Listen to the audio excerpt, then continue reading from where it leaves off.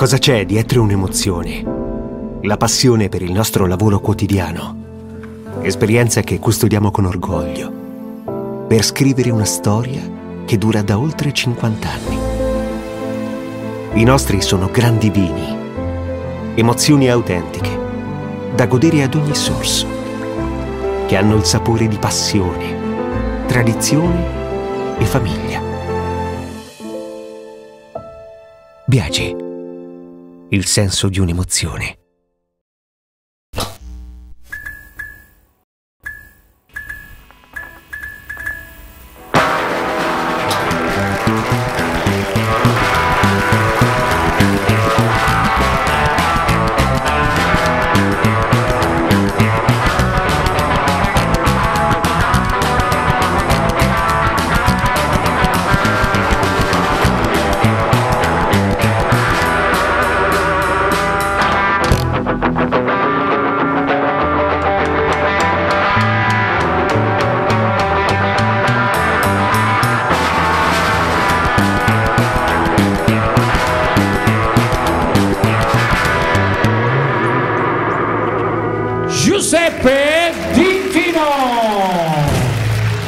Signore e signori, buonasera e benvenuti. Questo è Visionaire.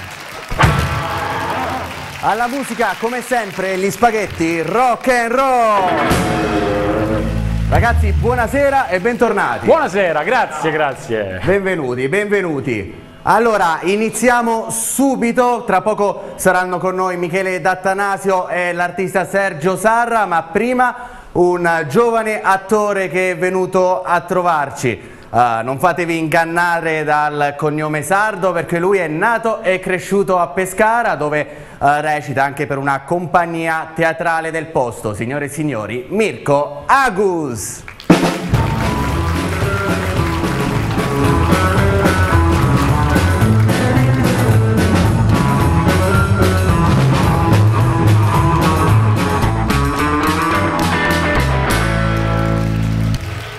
Mirko, buonasera. Buonasera. Benvenuto. Grazie. Allora, tu reciti, ma nella vita ti occupi di altro? Sì, io allora faccio il corriere per una ditta che trasporta farmaci dalle Marche all'Abruzzo. Ecco, una professione che poi, voglio dire, dopo due anni di pandemia ti, ti avranno, immagino, ben provato. Invece com'è che hai iniziato a recitare? Allora, io ho cominciato da bambino veramente, però eh, saltuariamente, in quanto comunque da bambino non sai ancora bene che indirizzo prendere, no? non sai se... Con la scuola? Con la scuola, sì, con le, le scuole elementari. E, però poi ho cominciato a fare le cose più seriamente verso i 19 anni. Ecco, e, e ora tu reciti anche con una compagnia di Pescara. Che compagnia Sì, è? Teatro Instabile si chiama, eh, di Pescara ovviamente. E che genere di spettacoli fate? Musical, commedia? Commedie eh, sia in eh, italiano che in eh, dialetto napoletano, comunque poi... Napoletano? Napoletano. Perché sì. napoletano? Perché il regista è napoletano. Ah, e vi, vi costringe tutti quanti a diventare partenopei. Ce le propone e poi dice se volete facciamo questo. E quindi come te la cavi col napoletano? Ma abbastanza bene dai. Vuoi dirci qualcosa? Tanto non andiamo in onda in, eh, in Campania, quindi vuoi dirci qualcosa in napoletano? Non lo so, cosa ti posso dire? Le- ma alla fine sono tutti luoghi comuni, cioè sono te- quelle tre È vero, cose che eh. tu La pizza. Pummarolo in gop. Capito? Eh, vabbè. voglio, eh, No, salutiamo tutti gli amici di Napoli. Come se volete potete guardarci in streaming o- oppure rivedere la puntata su YouTube. Io lo dico, non si sa mai. Ti ho visto anche in qualche film, tra l'altro andati in onda su delle emittenti locali, tra Sì. cui TV6. Sì, sì, sì, come no. Come Vermi vuoti d'anima, un film eh, con, la, con la regia di Bruno Spadaccini, che per me è un maestro sinceramente perché lui mi ha fatto cominciare a fare film, lui mi ha messo dietro una macchina da presa e mi ha fatto cominciare a fare film, se no fino a prima facevo solo teatro e basta.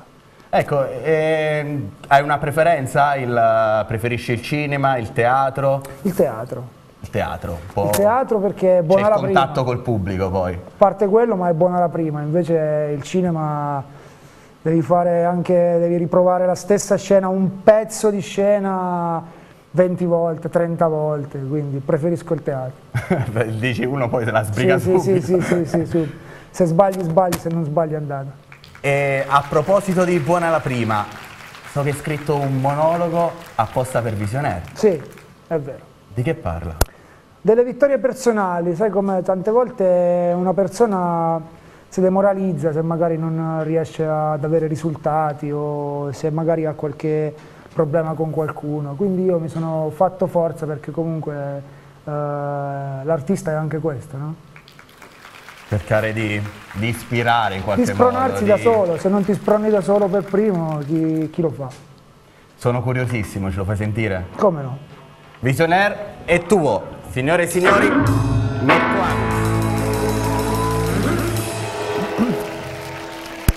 Ho vinto quando ho cominciato a capire che non è importante chi cammina al tuo fianco, l'importante è camminare, l'importante è andare avanti. Quando ho cominciato a camminare da solo soprattutto. Tante volte stiamo male, sto male per eh, determinate situazioni, per delle incomprensioni con qualcuno, è una cosa normalissima. Però mi dicevo sempre, continua, vai, non te ne importare. Alcune volte dicevo, ma perché se io mi comporto bene con te, te non riesci a comportarti bene con me? E ci soffrivo, ci stavo malissimo.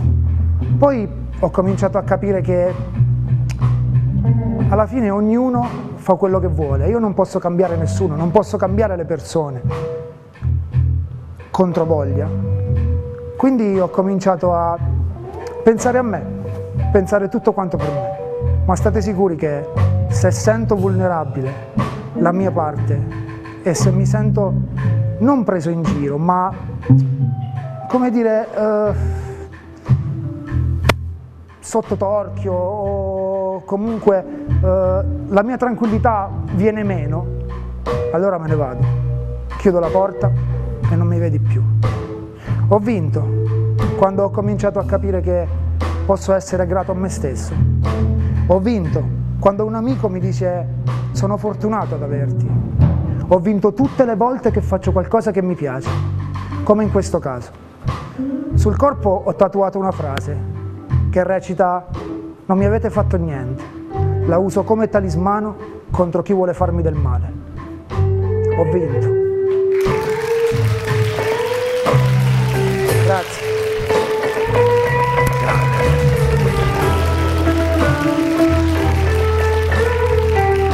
Mirko Agus.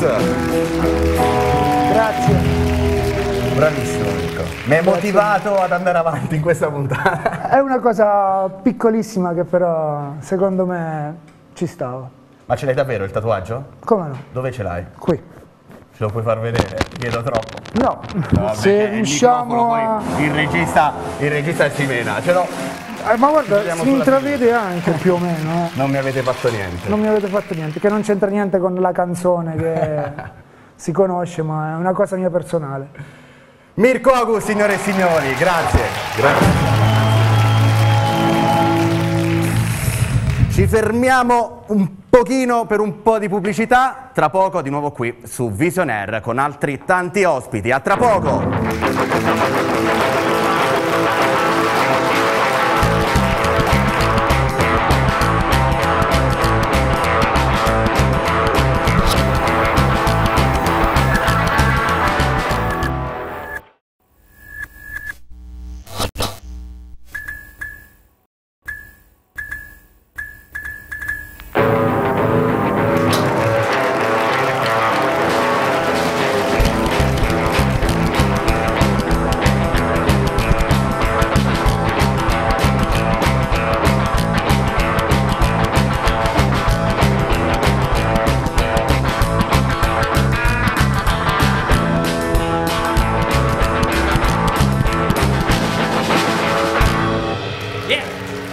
Rieccoci a Visionaire e introduciamo subito il prossimo ospite. Si tratta di un grande direttore della fotografia cinematografica, um, ha lavorato con uh, grandissimi artisti, grandissimi registi del calibro di uh, Nanni Moretti, Sergio Rubini, è stato uh, candidato cinque volte ai David di Donatello, ne ha vinti due, il primo nel 2017 con Veloce come il vento di Matteo Rovere, il secondo proprio quest'anno con uh, Freaks Out di Gabriele Mainetti. Signore e signori, Michele D'Attanasio.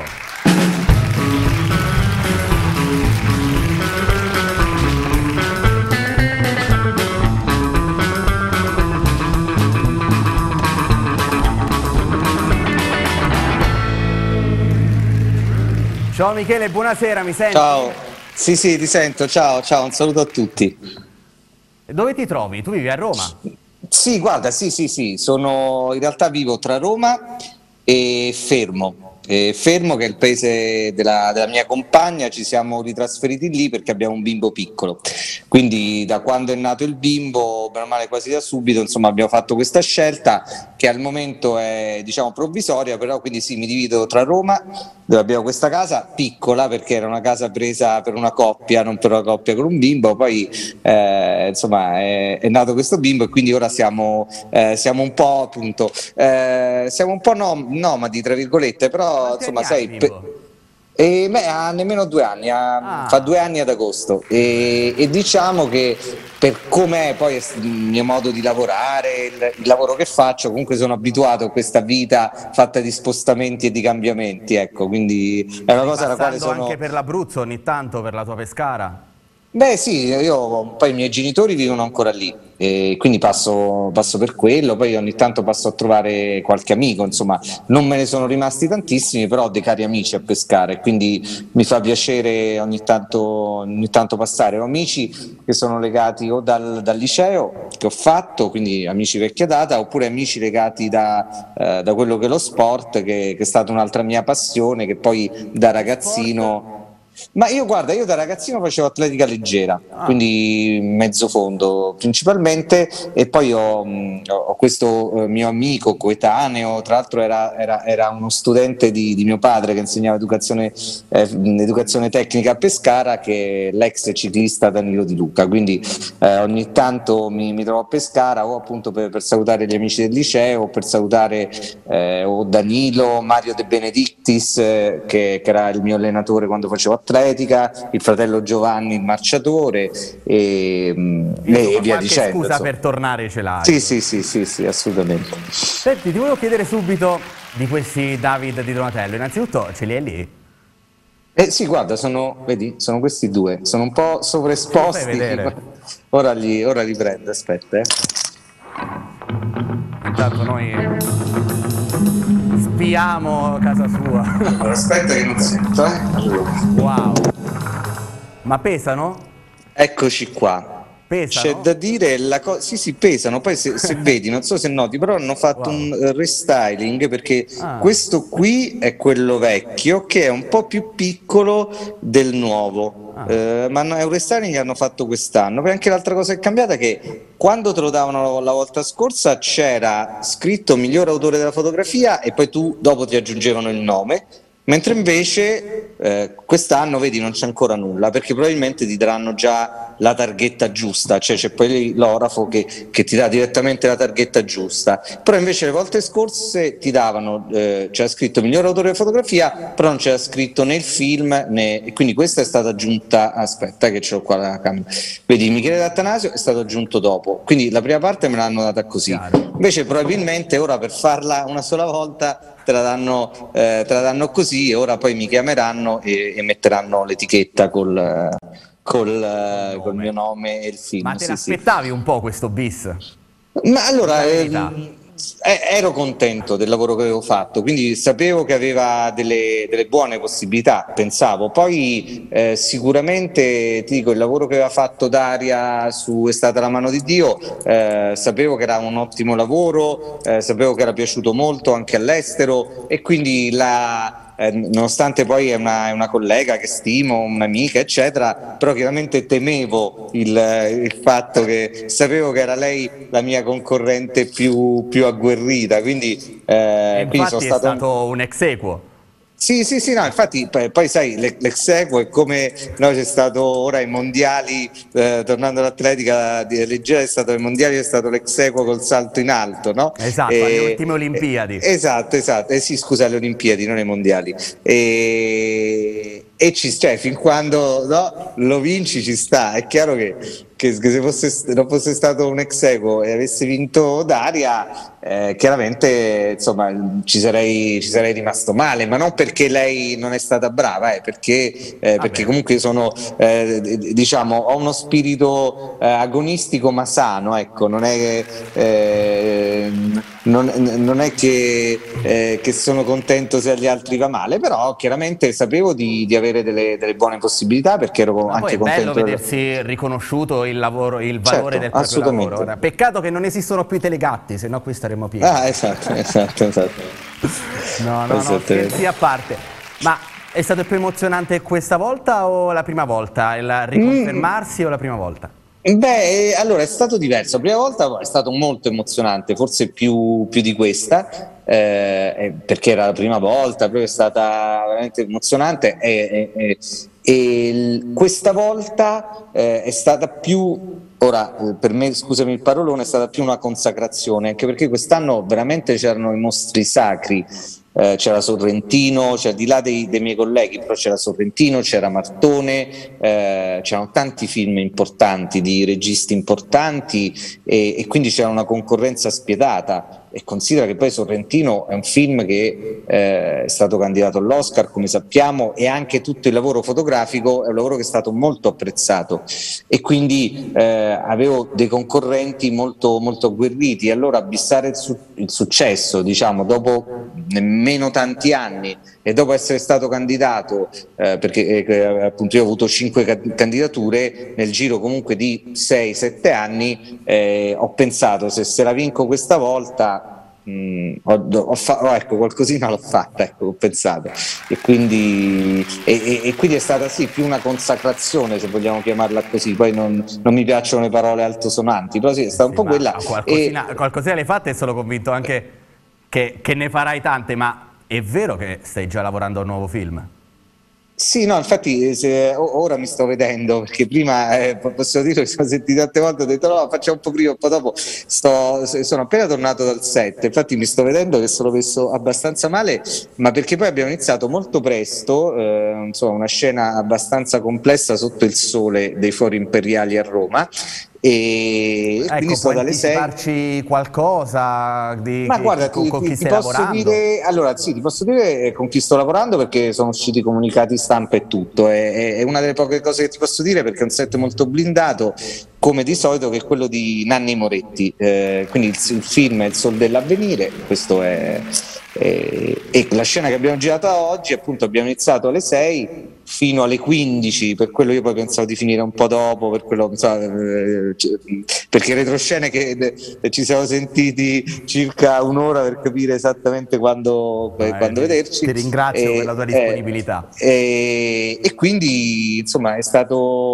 oggi, non so, eh, non so lì a Pescara, non so in Abruzzo, ma qui a Roma c'era veramente un caldo pazzesco e, e ora lo vedo tutto sul mio viso, ecco, cioè il, la, la stanchezza abbastanza, insomma, sto, sto, ancora con gli abiti che, che avevo sul set, quindi insomma sono abbastanza non stanco. Ti preoccupare perché anche noi qui siamo sotto le luci e, e okay. comporta quel che comporta in questo periodo dell'anno. Ti voglio chiedere un'ultima cosa per approfittare anche della, di, di, di, uno che mastica cinema come te, um, perché um, l'Abruzzo è sempre stato comunque uh, protagonista nel cinema, no? penso da quando Sergio Leone veniva qui a girare i suoi spaghetti western, ma questa faccenda che in Abruzzo manca ancora una film commission, cosa vuol dire per il cinema abruzzese secondo te? Eh, vuol dire che mm, insomma, è, un, è, un, è, un, gran peccato, ecco, un gran peccato perché, eh, perché come poi eh, mi hanno chiesto, ho fatto degli interventi, insomma è una cosa che, che va avanti da un po' di tempo. Eh, la Film Commission eh, aiuta, eh, cioè la Film Commission Abruzzo sarebbe una Film Commission perfetta perché abbiamo tutte le caratteristiche per poter essere una grande Film Commission. Le caratteristiche che abbiamo è che siamo un territorio piccolo e nel giro di pochi chilometri abbiamo mare, montagna, campagna e anche eh, centri eh, abbastanza grandi o comunque moderni come può essere alcune zone di Pescara e, ed è tutto veramente racchiuso in, in, poco. Come dicevo, le film commission al momento più virtuose sono ad esempio quella pugliese, ma quella pugliese è al mare.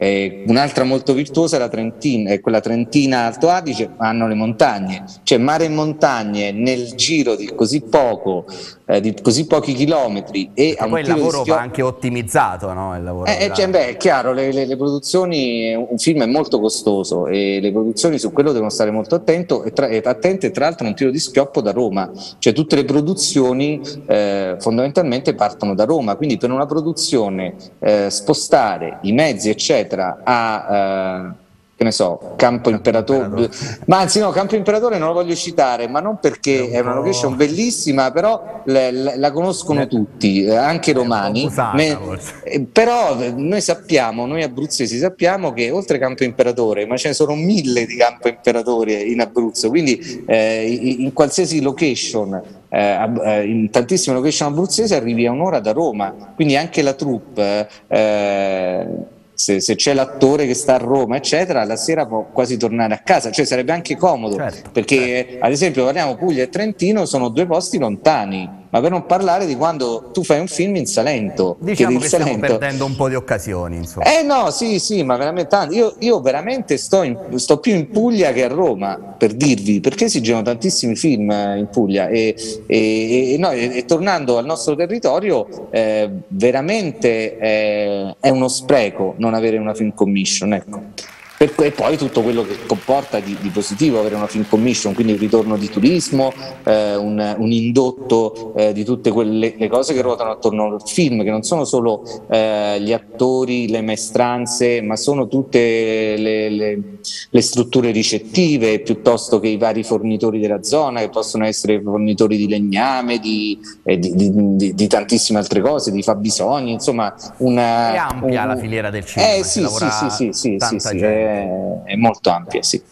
Senti, ma come le tieni queste statuette? Cioè, tipo te le guardi la notte prima di andare a dormire? No, no, no, no, no, no, no, no, quello no. Non sono un feticcio, no. Eh, però sono, sono felice di, di, averle vinte. E poi, sempre tornando a questa cosa del, dello sport, comunque mi piace come, eh, come uno sportivo a, a riconoscimento, no? Perché arrivi primo al traguardo piuttosto che, che segni più gol, piuttosto che, e, e quindi comunque eh, un, un, un riconoscimento riconoscimento così importante come il Davide, che è un po' l'Oscar italiano, eh, mi fa piacere averlo perché mi ripaga del, del mio lavoro. Non è, non è, questo l'unico motivo per cui lo faccio, perché sicuramente mi piace esprimermi, eh, mi piace esprimermi con la fotografia, lavorare con, sempre con registi interessanti su storie interessanti, però avere anche questo riconoscimento mi, mi, mi piace molto, insomma, se, devo dire mi mi, fa piacere. Poi, cavoli, sto vedendo, ad esempio, tra i vari maestri, io sono autodidatta, però ho sempre avuto dei direttori della fotografia con i quali mi sono confrontato e molti sono stati dei mostri, mostri sacri, eh, tra cui Rotunno, no? direttore della fotografia, anche candidato all'Oscar, che ha lavorato con tutti i grandi, Fellini, Visconti, eccetera, eh, e, e ho raggiunto Rotunno per il numero di David. Poi c'è da dire c'è da dire però che Rotunno quando la, lavorava lui, il Davide alla fotografia è stato istituito nell'ultimo periodo della sua carriera, chiaramente, perché sennò ne avrebbe, ne avrebbe vinti di più. Però nonostante questo, eh, che lo so, che non, è, non, ho fatto quello che ha fatto Rotunno, eh, assolutamente no, eh, però già avere lo stesso numero di Davide che avrei insomma, già, già, questa cosa mi, mi, mi, mi fa piacere. Ecco. Sei sempre in tempo a superarlo, poi no. Come, anzi, come l'augurio giusto che ti dovrei fare nel mondo del cinema è tanta merda, giusto? Sì, sì, quello in bocca al lupo, sì, sì, quello sono abbastanza scaramanti, così cioè, c'ho, ah. insomma, c'ho de- de- delle piccole cose che faccio, ma sono scaramantico anche quando inizio un film, ho delle piccole cose, oh, una stupidità stupidaggini, cioè tipo io di solito ho un'agenda per ogni film, eh, però scrivo il nome del film dopo qualche giorno che ho iniziato a girare, lo scrivo sopra un nastro adesivo che, si, che usano i macchinisti, che è sempre quello, proprio tutte piccole cose, eh, stupidaggini. Sento che essere superstiziosi porta male. No, scherzi a parte, una ultima domanda, però voglio che mi rispondi a bruciapelo. Se tu potessi scegliere un qualsiasi regista al mondo per cui dirigere la fotografia, che nome mi faresti? Ma ad esempio mi viene in mente adesso uno bruciapelo, un regista italiano che mi piace tantissimo, è anche, Matteo Carrone. Anche internazionale, eh, non per forza italiano. No, no, certo, bruciapelo ti direi Matteo Carrone, che è un, che è un regista che, che, mi piace tantissimo. Capito Questo, Matteo? Capito? grazie, grazie. Prego. Michele Dattanasio, signore e signori. Cavi di Donatello 2022, grazie davvero per la tua disponibilità, è stato gentilissimo. Ciao, a presto, ciao ciao. Buona serata. E ora, signore e signori, un altro ospite, si tratta di un grande artista tra i più quotati in Abruzzo, anche lui pescarese. Le sue opere sono state esposte in tutto il mondo, dalla Biennale di Venezia a quella dell'Havana, a Cuba. Uh, fotografie, quadri, uh, sculture, installazioni, la sua arte si esprime in tante maniere diverse e ora ce la racconta, signore e signori, Sergio Sarra.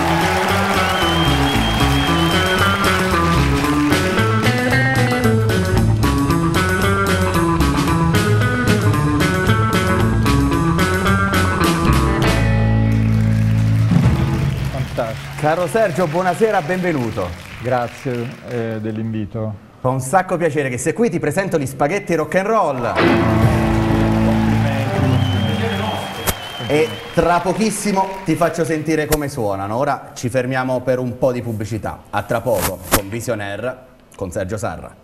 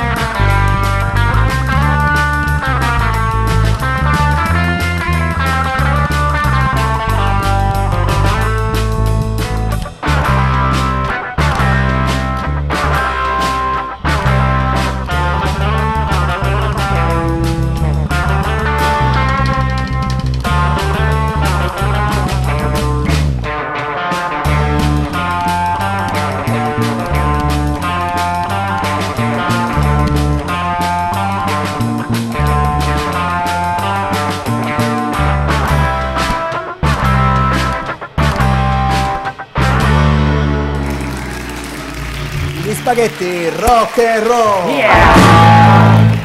Che bello questo omaggio cinematografico, ragazzi. Eh sì, sì, proprio un omaggio. Lo chiamavano Trinità. allora, bentornati su Visionaire, siamo in compagnia dell'artista Sergio Sarra. Allora, la prima cosa che vorrei chiederti E uh, partendo dall'inizio, giustamente, sì. come ti sei approcciato al mondo dell'arte? Come ti sei riscoperto artista? So che hai fatto l'Accademia delle Belle Arti, è così? Sì, ho fatto l'Accademia a Bologna, però diciamo che non è che ho cominciato in quell'istante a dipingere, a disegnare, come molti della mia generazione facevamo delle cose manualmente, quindi io ho passato tutta l'infanzia a disegnare, costruire, plasmare. Questa cosa è continuata nell'età diciamo, adolescenziale. Poi a un certo punto, senza decidere in maniera eh, così perentoria, mi sono iscritto all'Accademia di Belle Arti, senza fare la riunione di famiglia, mi sono iscritto. Ed e... è stata una scelta condivisa dalla tua famiglia? Non mi ricordo neanche se gliel'ho detto, eh, mi ero iscritto a Bologna appunto all'Accademia e, e lì è diventata una cosa sempre più importante perché l'Accademia, almeno quell'epoca, era una scuola dove potevi fare un quadro di tre metri, insomma discutere tutto il giorno della cosa che mi interessava, che era l'arte. Quindi quello è, diciamo, è stato il periodo in cui mi sono accorto che avrei fatto quello, cioè durante l'università che in questo caso si chiama Accademia.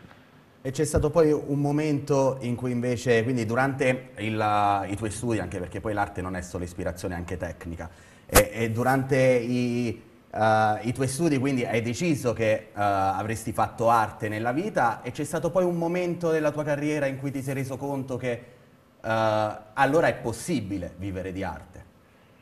Allora, insisto nel dire che non l'ho mai deciso, che è una cosa proprio che tra l'altro non, non, sopporto molto fare, decidere le cose, no? Preferisco che accadano così e puoi cominciare a fare l'artista se cominciano a chiederti ci piacerebbe esporre un tuo lavoro. Allora quello, quell'invito, quell'occasione che ti gratifica molto ancora adesso, ti, così, ti, ti, in quel momento ti rendi conto che probabilmente il tipo di ricerca che stai facendo interessa a una persona almeno che, la, che, è quella che ti ha chiesto, esponi nella mia galleria, esponi nel mio museo, oppure esponi con me in una determinata situazione, oppure produciamo questo lavoro. Quella cosa piano piano mi ha immerso nel, completamente 24 ore su 24 a fare l'artista senza neanche accorgermene praticamente. Ti ricordi qual è stata l'opera che, che ha segnato un po' la svolta, che hai detto wow, allora interessa anche a qualcun altro? Fammi pensare. No, mi ricordo che non avevamo finito l'accademia l'ultimo anno, mm, ci chiese di esporre, una, gal una, galleria di Bologna ci chiese di esporre a tre di noi, tre stu studenti della stessa classe, col nostro professore che faceva di intermediario. E... Però non mi ricordo che opera fosse, comunque era enorme, mi ricordo che era dipinta da acrilico, un'opera enorme, che esposi a Bologna con due miei amici e quella fu la prima mostra che facemmo proprio. Wow. E poi certo in quel momento non ti rendi conto di niente, della difficoltà, del, del grado di competizione che è altissimo e come forse, boh, forse il cinema ha un grado di competizione così alto, il teatro, la, la poesia e di conseguenza quella cosa, cioè mantenere anche un ritmo per cui sei invitato continuamente a fare delle cose, eh, è un sistema che è inspiegabile, non, non, non riesci a determinarlo tu da solo, non determini quasi niente. Infatti stiamo parlando di arte, uno non può eh, timbrare il cartellino. Puoi solo fare la migliore opera possibile che ti viene quel giorno e non puoi deciderne la riuscita prima, perché altrimenti tutti deciderebbero di fare un capolavoro al giorno. Io mi metto lì la mattina un po' sospettoso nei confronti dei materiali che ho davanti, ci giro attorno, vado fuori, ci giro attorno, sto sempre in studio, poi a un certo punto faccio qualcosa. E piano piano quelle cose che faccio riguardandole mi sembrano un po' eh, possibili. E allora le faccio vedere a qualche a mio amico curatore, faccio vedere a mia moglie, così, e, e prendo io coraggio rispetto ad esse, alle, alle opere. Ne hai tante nel cassetto che in realtà poi non hai proposto al pubblico? Ho, nello studio ho diverse opere perché sono indispensabili per poter fare quella successiva. Diciamo, se io mi privassi di tutte le opere o decidessi di, ecco, decidessi di venderle tutte, questo è il tema della puntata è la decisione. Io lavoro sull'indecisione. E... Sono contento che almeno hai preso la decisione di venire qui questa esatto. sera. Eh, diciamo che... E di conseguenza tenerne un po' in studio, un materiale in studio permette di avere dei, non dei parametri, anche una sorta di, di filo conduttore no? che va, procede così, non come uno sviluppo, perché si può anche avere delle fasi in cui regredisce il lavoro, però un filo conduttore. Ecco, poi... cioè, la mia ricerca ha, ha dei fili conduttori che poi si concentrano in periodi in cui approfondisco l'esperienza facendo delle serie sullo stesso tema. E questa è la cosa un più filo conduttore che però poi si, si, dirama attraverso diversi metodi espressivi anche, perché anche. tu usi uh, diversi materiali, diverse forme d'arte, hai iniziato, dicevi prima, col disegno, ma in base a che cosa decidi se fare un quadro, una scultura o quant'altro? Oh, quello... E perdonami, ho chiesto sì, a decidere. Sì, tu sei filosofo, quindi ti, ti, ti, prego di soffermarti su questa cosa della decisione, cioè nel senso che eh, scegliere una tecnica non è possibile, diciamo, rispetto al, all'immagine che tu hai in testa di fare, l'immagine o l'installazione o l'ambiente che vuoi andare a costruire, la tecnica diciamo, è un po' quella che viene quasi naturalmente per quella cosa. Ultimamente, guarda, principalmente adesso questo periodo sto lavorando in questo momento su dei pseudo, perché non sono proprio dei disegni su carta, no? però sono dipinti in realtà, cioè sto disegnando col pennello. Tra l'altro in negativo perché è su una superficie piuttosto scura e col bianco. Ah. Quindi è un disegno un po' in negativo. Tu mi chiedi, ma in questo momento che, come mai hai deciso di fare questa cosa? Come mai? Non me l'hai chiesto, non ti rispondo lo stesso. e non lo, non lo so, assolutamente non lo so. Però approfondisci una serie che secondo me è partita almeno... Eh, L'opera precede la ragione dell'opera e non viceversa. Ecco, entriamo sui tuoi studi di filosofia, questo mi piace. eh, quindi, e poi ognuno ha un proprio sistema di lavoro. Io ho questo sistema così attendista, quasi nulla facente, per cui alla fine in realtà poi lavoro moltissimo, sto sempre in studio tutto il giorno. Senti, ma il varano è il tuo animale guida? no, allora, te lo chiedo, varano parte, no. perché Sergio eh. Sara ha realizzato tante opere uh, in cui ha realizzato varani verso tipo dalle foto, i quadri, le, le sculture. Come mai questo animale? Oh, lo, questo lo posso spiegare abbastanza bene, spero. Cioè, eh, intanto non l'ho mai visto dal vero, che è una cosa fondamentale. Interessante questo. Io non sono proprio il, tanto propenso a disegnare dal vero, se non sul paesaggio, alcuni paesaggi che ho focalizzato dal mio studio facendo delle finestre proprio apposite per vedere, che so, il Monte Camicia. Il varano, il varano che è un animale, quello che io ho usato per tante volte, che sta solo in una piccola isola di Comodo. Il drago di Comodo. Bravissimo. E il varano di Comodo, il drago di Comodo io non, ho mai, non l'ho mai visto e ho sempre mandato dei miei amici pagandoli a fotografarlo per mantenere una sorta di antinaturalismo, cioè non volevo essere colpito, avere l'impatto visivo così. Mi interessava come paradigma di animale sopravvissuto, quasi cosmologico, come se fosse un segno zodiacale vivente. E inoltre un piccolo capolavoro di tecnologia, nel senso che caccia di notte perché riesce a distinguere la preda per il calore che emana, cioè aveva una serie di caratteristiche, ha una serie di caratteristiche per cui era il paradigma perfetto di alcune cose che io volevo fare rispetto a guardare il cielo, guardare perché i segni zodiacali sono delle unioni di punti di stelle. Tu dirai che c'entra col varano che sa...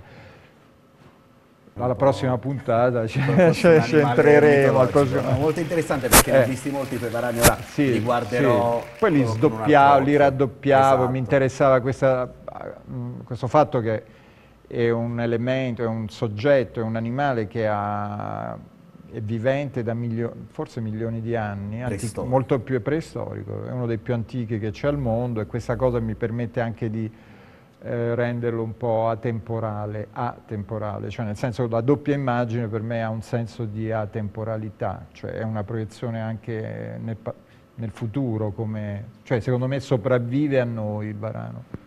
Stavo pensando magari... Ah, sì, in questi tempi ci sopravvive sicuramente. ecco, diciamo, viste le, le, calamità che incombono le guerre che... superstiziosi per galanteria, ma... No, ma, no, ma parlo di qualche migliaia di anni. Ecco. Poi penso chi magari si è sintonizzato ora penserà ma dove sono su National Geographic? No, no, è Visionaire anche questa sera. Perfetto.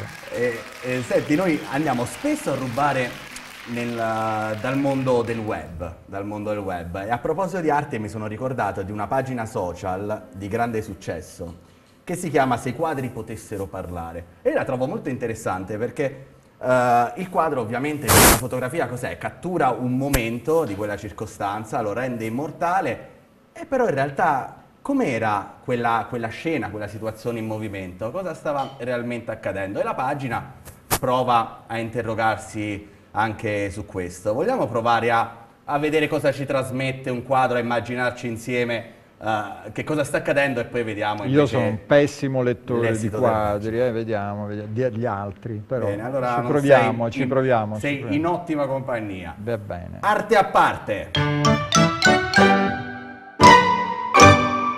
E allora, e allora, e allora, proviamo a capire che cosa direbbero sti quadri se potessero parlare. Il primo quadro che ti propongo, caro Sergio, si chiama Il riposo, è di Ernest Ange Duetz, um, chiedo, chiedo, scusa per la mia pessima pronuncia, è del 1891, lo stiamo vedendo in questo momento. Beh, una ragazza direi bella comoda, sì, ma eh, o Bella Comoda o... Sì, sì, non lo conosco questo quadro, guarda, francamente. A te più che comodità ti stava esprimendo no, un no, senso no. Di, di, di stanchezza, di disagio? Lo vedo poco, so anche a una distanza così, però diciamo sì, eh, che cosa ti, ti, dovrei dire per esempio rispetto a questo quadro? non lo so, guarda, allora facciamo, facciamo, passiamo al secondo. Facciamo parlare la il pagina. Primo, il primo è andato. Vediamo che cosa, che cosa, dice questa ragazza secondo se quadri... Perdonami madre con vita loca, ok. e in after probabilmente.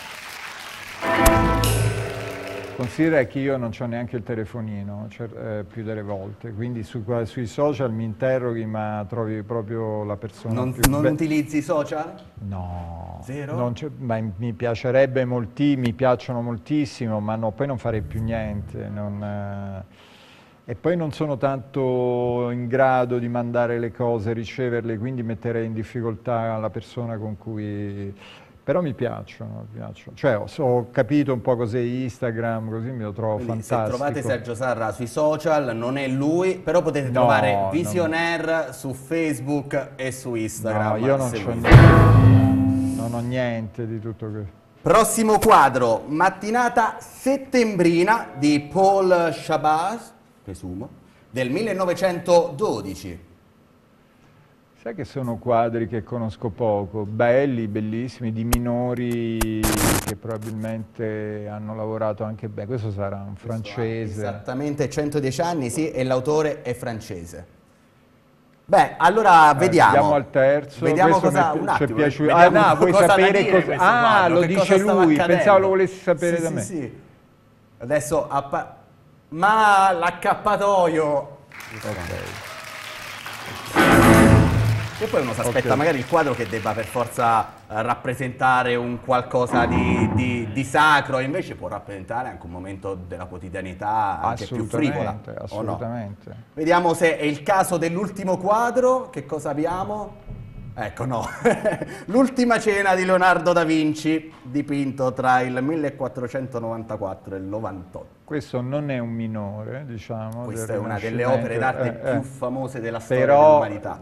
è difficilissimo parlare di questo quadro perché è così complesso, per cui veramente ci mh, dovrei ragionarci. Però la composizione di questo quadro è praticamente forse solo Las Meninas di Velázquez compete con- come complessità rispetto a questo, è anche carica simbolica e non eh, ed esoterica di significati, però qui non voglio... Guarda, vo- vorrei ascoltarti davvero ore parlare No, di... no. perché No, mi no, interessa, no. però purtroppo ora No, devo, devo dissacrare il tutto Quello che hanno detto i social. E tornare Ok, a dette perché queste, purtroppo... ma chi le ha dette queste frasi, per esempio? Questa Sono pagina curioso. sui quadri potessero parlare, una pagina non so anche se è in attività, però che mi ha fatto divertire molto e che ha Ok, centinaia di migliaia di seguaci. Sì, ma famo alla romana. dice- come dire dividiamo, dividiamo il conto. Sono in tanti, sì, sì. Va bene. Non dividiamo solo il pane. Vabbè, ti chiedo scusa. No, chiedo no, scusa. no, no, no, vai, Via, vai, vai, via, vai, via, via, via, via. Come se non fosse mai successo. Perfetto. Signore e No, signori, no, no, possiamo... l- È stato interessante invece. la- non la tagliamo questa. Vediamo. vediamo, vediamo. Sergio Sarra, signore e signori. Eh, grazie, grazie, grazie. Allora, dove ci mettiamo? Salutiamo a quella camera lì, anche per questa sera eh, Visionaire eh, termina qui, siamo arrivati in fondo alla nostra puntata. Eh, ringrazio come al solito gli spaghetti rock and roll. Sergio Sarra che è stato con noi, grazie Sergio. Visionaire torna tra una settimana esatta. Ci vediamo la prossima settimana. Oh Buonanotte. mamma, voglio nuovo la cocco mamma, e ballare in slip mamma, e cantare in frac mentre ballo il rock and roll. Sono pazzo come rock, sono pazzo come rock, sono pazzo come rock, sono pazzo come rock, sono pazzo, pazzo, pazzo, pazzo, pazzo, pazzo, pazzo come rock.